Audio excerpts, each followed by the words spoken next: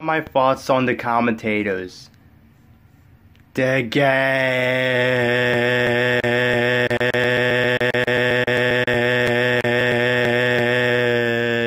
It's a song, but the rest of them are gay.